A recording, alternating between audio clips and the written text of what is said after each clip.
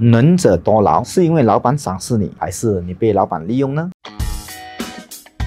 其实每一件事都有两种看法，有些人会喜欢，有些人不喜欢。就以这件事来讲，有些人就认为增加了我工作量，不过薪金又没有增加，拿一份薪金做两个人的事，所以他们就觉得很不满意。把另一种人，他们可能就想正面点，他们觉得其实做多点，我就可以学多点，反正我还年轻，当这是对自己一个训练，到头来学到东西都是自己的，公司可能会获利，不过我也是没有亏本。让我们从老板的角度来看东西，比如讲这个公司有三个员工。A、B 和 C。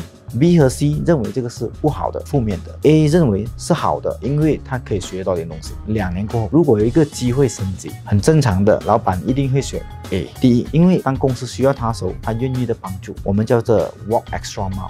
第二，在这段时间，因为他多做多学，他的能力、他的知识比 B 跟 C 快。第三，也是最重要的点，其实 A 已经通过了一个测试。A 在这种情况之下、压力之下、多工作之下，他的反应是正面的。我们将他提拔成为。领导，他将来有能力带领新的团员朝着正面的思想而走。相反的，如果我们提拔 B 和 C 成为领导，你想想看，当将来遇到挫折，他所带带领的团队将是正面还是负面的呢？所以现在你还认为你是被利用那个吗？